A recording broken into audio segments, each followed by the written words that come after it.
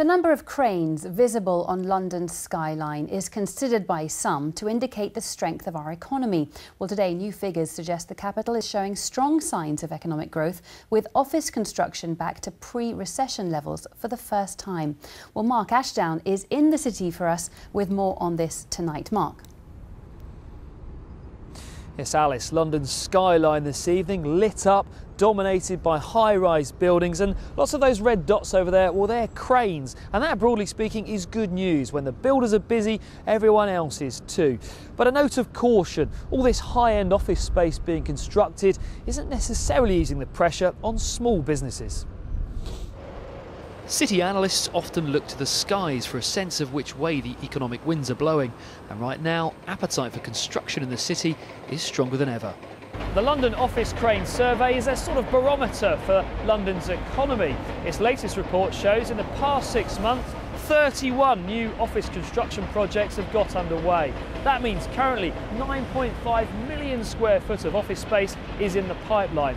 That's up 24% since November this is a huge vote of confidence for London. You know, London is seen as, as being a global city, if not the global city. And I think what this report shows is both the breadth of demand uh, and development going on, but also that we're seeing new types of businesses. You know, businesses already located in London, but importantly, businesses are choosing London uh, to move their businesses to, to headquarter here. So what's driving it? Another report today suggests foreign companies for one. A record 270 set up or grew here last year, creating 5,000 jobs, many in the tech sector. A decade ago, just 26 tech companies came to London. Last year, it attracted 108. This is the throbbing gizmo behind the whole thing. This is Having a mayor pushing London's global image is also seen as a big factor. But there are warnings that for smaller businesses, there's still more demand than supply, which pushes rents up. To some extent, London's been a victim of its own success, and real estate investment is obviously vital for the capital, but it's also vital that we encourage smaller firms to be able to incubate and grow with affordable office space. So one of the things that councils and the GLA needs to do is ensure that we've currently continually got a supply of that stuff, as well as all of the shiny, expensive, high-profile new buildings that clearly permeate the skyline. It is hoped pressure will ease as projects are completed and a post-general election period often fuels the confidence to build even more. Experts say we are now back to pre-recession levels, but everyone is aware of the delicate balance to guard against another bust. Now the boom is back. So a vote of confidence for London, Marc, but also signs today uh, that the referendum on Britain's future in the EU is making some in the city a little nervous.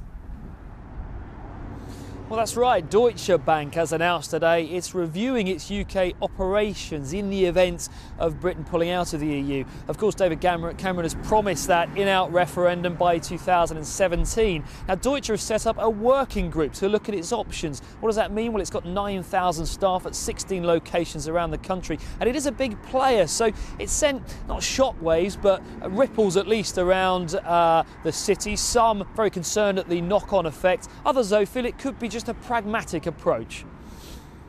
I think what Deutsche Bank have done is absolutely right. They need to consider all possible eventualities. There is a possibility, I think it's a very small one, that Britain might leave the European Union.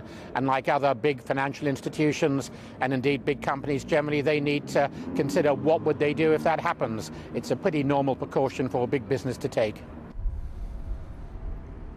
Now, if Deutsche were to go, there's no doubt they leave a pretty big gap. They've been in the UK since 1873. But the bank stressed today this is very early days. Although this does echo warnings from HSBC in April earlier in the year uh, that they too were looking at their operations. So, some good news today with all this construction, but also some worrying rumbles from some quarters, Alice.